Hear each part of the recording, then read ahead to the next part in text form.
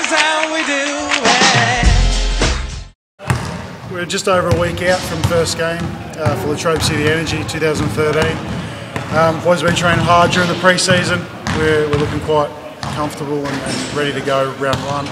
Um, obviously the, the good news of, of Russell Pimenta is joining and signing, uh, we should be here in a couple of weeks, is, uh, going to bolster our lineup, but all the same guys from last year are back, um, ready to go, a few new things put in place. Most importantly, everyone's fit, healthy, ready to ready to hit round one running on the uh, 16th of March against Blackburn at Traralgon. Um, hopefully everyone can get down, make it a, a big night. Uh, we've got the bar there, which is going to influence a lot of people's decisions to come to games.